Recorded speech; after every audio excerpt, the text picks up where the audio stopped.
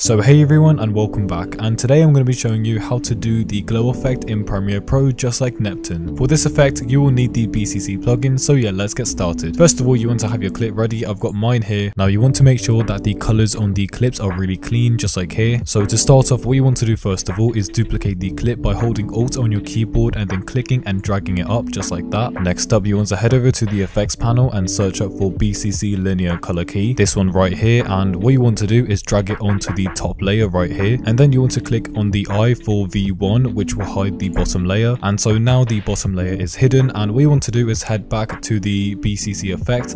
And what you want to do is click over here where it says color key. You want to click on this icon right here. And what you want to do then is select which color you want to add the glow to. So I want to add it to the green part of his jacket. So it's going to be around here. So simply just click and there you go. Next up you want to change the output from composite to composite invert alpha. And now it's going to look a little bit weird but what we want to do is change up these three settings. So we're going to change the similarity the post blur and also the choke. So first of all you want to turn down the similarity until the part that you want is visible. So i'm going to turn it down until the green part is visible only or at least the coat that he's wearing so around there. Make sure it's not too low otherwise it will disappear completely. I think 15 looks perfect and so now i'm going to move on to the choke. What this is going to do is soft soften it out. So if I just move it down slowly I think it looks good around negative 5 so before it looked like this as you can see it's got these rough edges and negative 5 looks like this. So it's more soft. If you want to you can also change the post blur to just make it a little bit better. I'm going to change it to 5 for now. Next up you want to search for BCC hue and you want to use this effect called BCC hue sat lightness. Just drag it onto the top layer once again. And what you can do here is now change the color. So as I click and drag the hue to the left as you can see the coat is changing color. I'm going to go for this color, so I've set my hue to negative 50. Of course, yours is going to be completely different depending on the clip. Next up, you want to search for BCC Glow OBS and you want to select this effect right here. Now, first of all, you want to change the glow threshold to around 25 and already the glow effect is working. If you want to, you can set it to something even lower such as 15 which will look like this. In fact, we're going to go for 20 instead. And now if you click on the eye once again to unhide the first layer,